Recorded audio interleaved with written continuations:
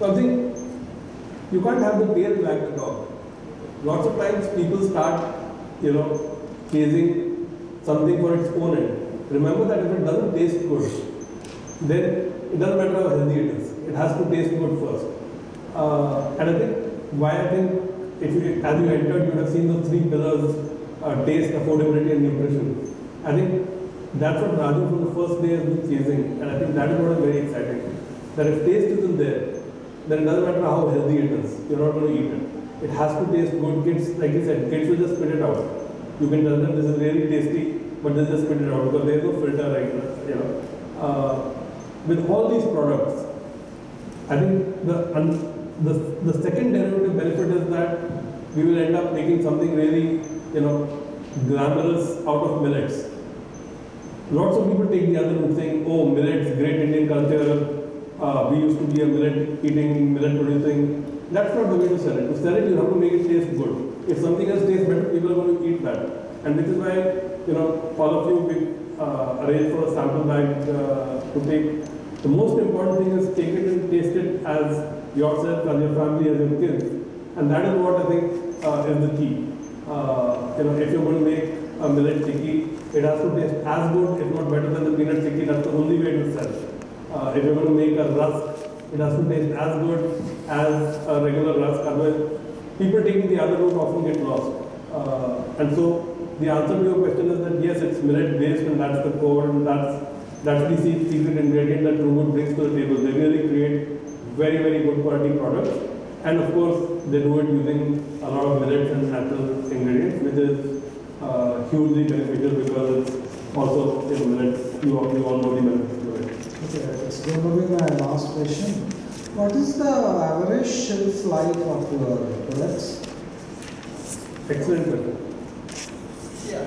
Um, our average shelf life is, uh, we started with three months, but we gradually improved not by adding chemicals, but we gradually improved through packing techniques. No preservatives? Sorry, without, without any preservatives. We have, none of our products have any preservatives. These are uh, gluten free. Sorry, it- it's a gluten free. Yeah. Millets are known for gluten free. It's Gluten- all the millets are gluten free only. So I would say that uh, whatever we are launching uh, going forward or whatever we have launched are gluten free basically. So that is uh, underlying fact. But we are not selling it very heavily because that's anyway gluten free is a new jargon. That a lot of people are embracing it. But we are not too much into that. We are fundamentally into the nutrition. So we, where we say that okay, you don't have a calcium, kids need the calcium, adults need the fiber, and uh, we all need the protein. It's a simple fact that we are, we are offering those things. Let's say we don't want to become like a vegan or a gluten free or a pescatarian. Some of the new things, new things which we do not even know. So we don't want to do experiment with unknown things which are not familiar to, to us. We are a familiar and absolute Indian brand doing things for India, doing things for Indian masses. So that's a core philosophy of our brand. Incidentally, Uh, incidentally gluten free rather than deliberately gluten free. Yeah, incidentally gluten free, that's correct. Are you going to um, set up any units in uh, Telangana uh, small towns? Yeah, of course, yes. So we're working with the Telangana government. By the way, Telangana government also has been uh, uh, asking us to promote these SHG groups um, where uh, there is another angle that we're trying to bring in um, where we will promote, we will pick up these SHG groups and make them entrepreneurs by giving them some incentives to set up the stores where we see the advantage with the true that there is a predictable volume. If the business makes a predictability. If you don't have the predictability, the whole ecosystem you know will always be you know roller coaster. So you always have a ups and downs. But with with us the advantage is that we have a predictable volume which is always on the ascending uh, graph. So to answer your question, yes, we will be uh, opening like a micro factories with our uh, templatized model. That is where we ironed out. So the first and foremost uh, thought process was that we wanted to make our factories extremely templatized. That means anyone with a minimum training, or a week to 10 days training, can go and set up a factory which is as good as like an international, you know, export ready factory.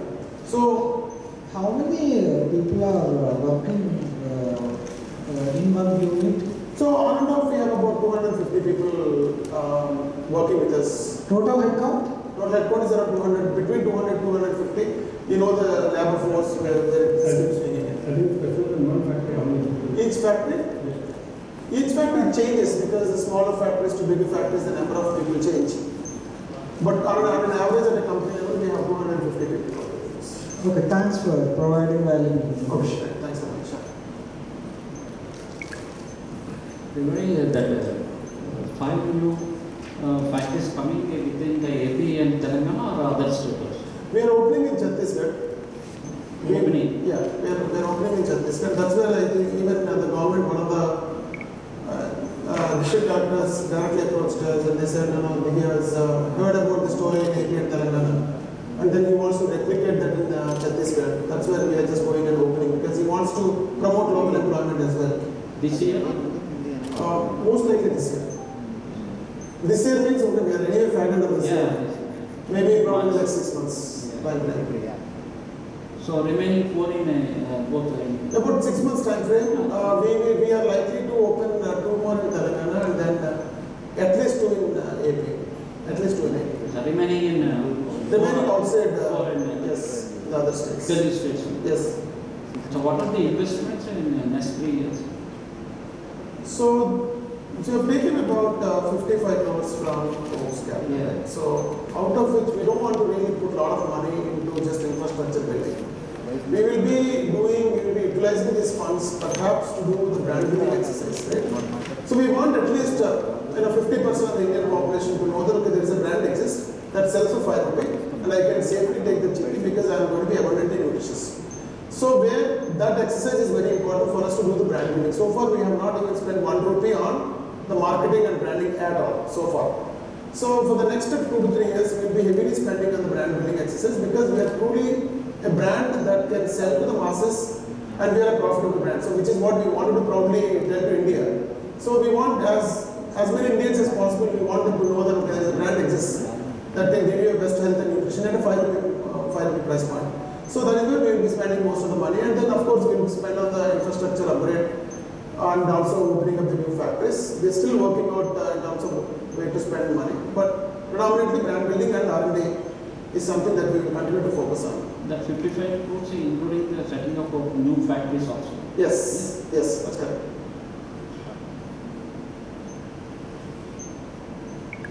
What are the new products are coming up? How many products are based? Uh, we have uh, in our uh, product portfolio nearly 14 products so far. 14. 14 products are there, but we are we are only focusing on five to six products. Then that five six. Yes, we are only focusing on five six products.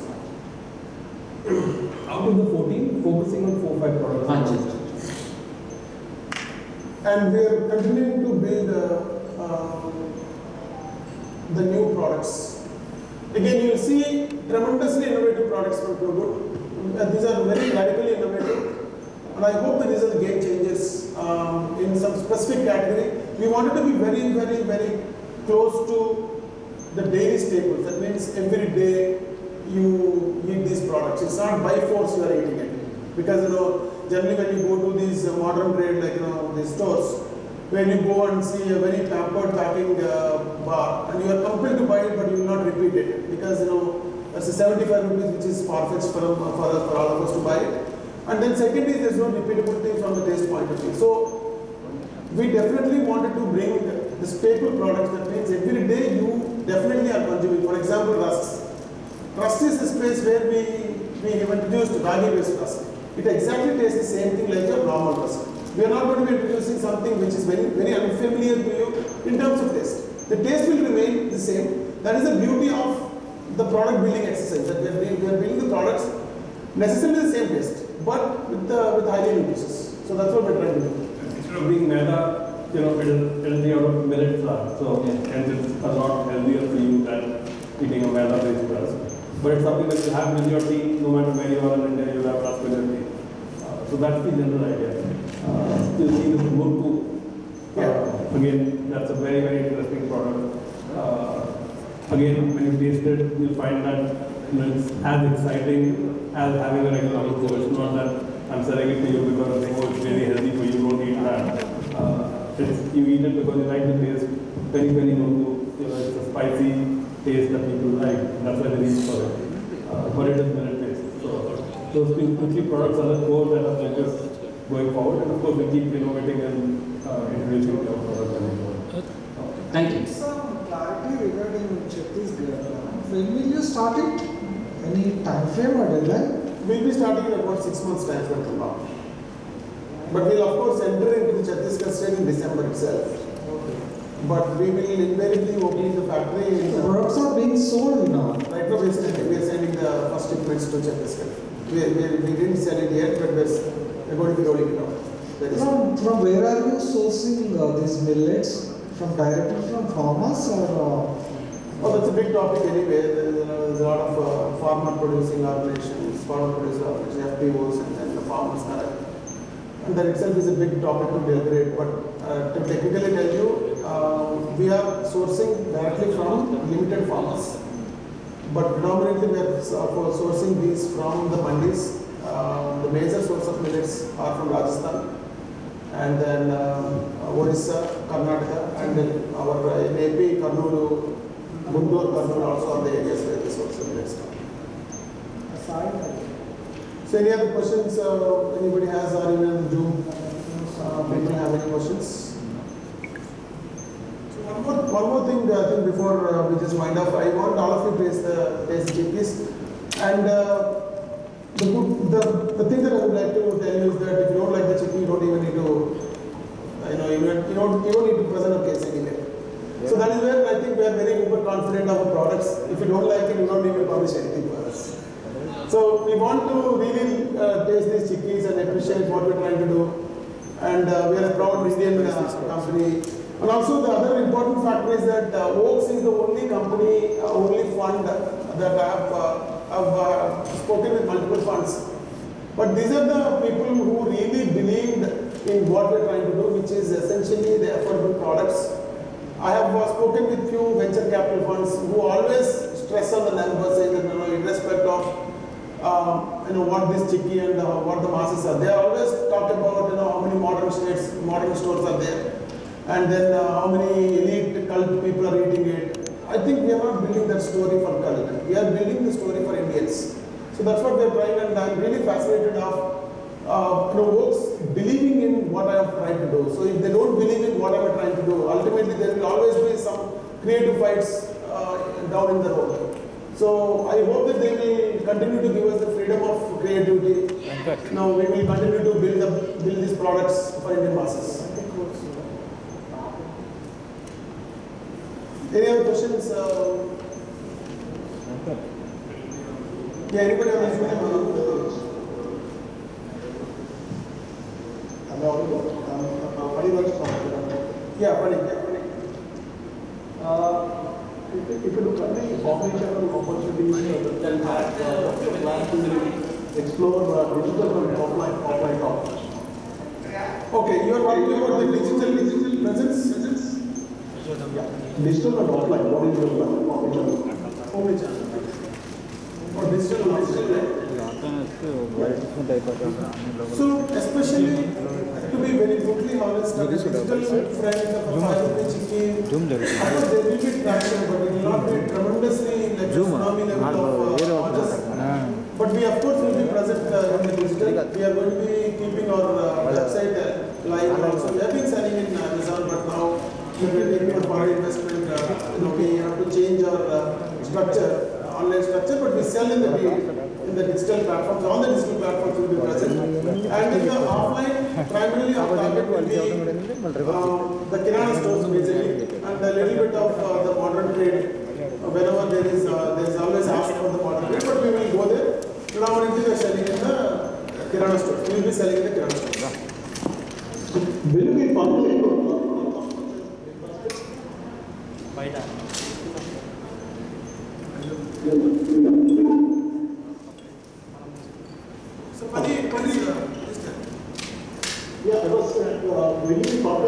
With the platforms such as Big Basket? yeah, of course, yes. Big Basket, Amazon, and uh, almost all the all the channels. So I think, I think, I think the simple way to answer this would be that wherever it makes sense to be present, uh, and wherever it is uh, good business to be present, we will be there. But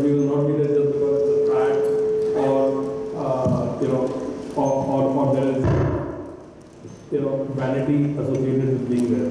Uh, we're going to be there in whichever form customers want it and it makes sense, we will be there. But uh, general trade and offline is really the largest, uh, when you're in this category, general trade and regular trade is the largest uh, channel. that we have.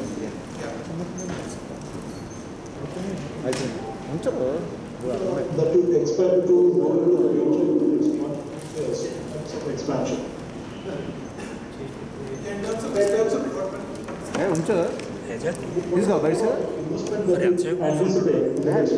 అని చెప్పు Zoom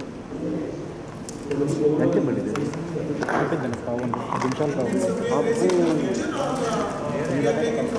పది నిమిషాలు